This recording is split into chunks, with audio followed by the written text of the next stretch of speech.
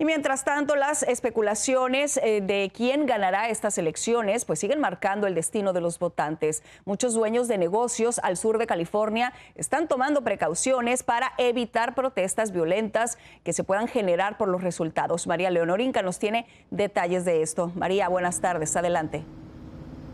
Así es, Anaís, buenas tardes. Arduamente trabajan muchas personas para asegurar estos puntos importantes comerciales de Los Ángeles como Beverly Hills. Mantienen seguras las paredes, como se pueden ver, para el día de las elecciones. Así es como exclusivas tiendas de Beverly Hills y Los Ángeles se preparan para los posibles actos de violencia que se esperan para el día de las elecciones. La famosa calle Rodeo Drive en Beverly Hills estará cerrada al tráfico de vehículos y peatones por 48 horas desde el lunes en la noche y hasta la medianoche del miércoles. Y su ícono hotel Beverly Wilshire ya tapó con madera sus puertas y ventanas. Algunos negocios en la ciudad pueden optar por limitar las operaciones durante este tiempo.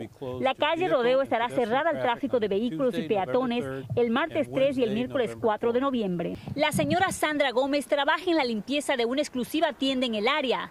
Teme que estos actos de violencia afecten el trabajo de ella y cientos de sus compañeros.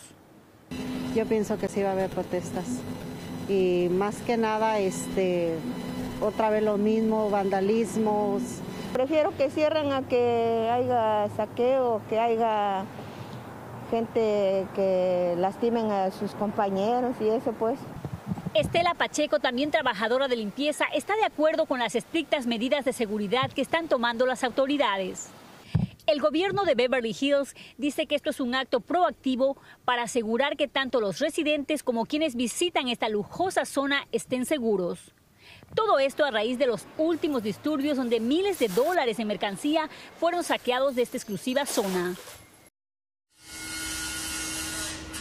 Y con respecto a Los Ángeles, el alcalde Eric Garcetti dijo en estos días de manera virtual que él cree que la policía de la ciudad angelina está preparada para manejar estas elecciones. Yo soy María Leonor Inca reportando desde Beverly Hills, Noticias 62.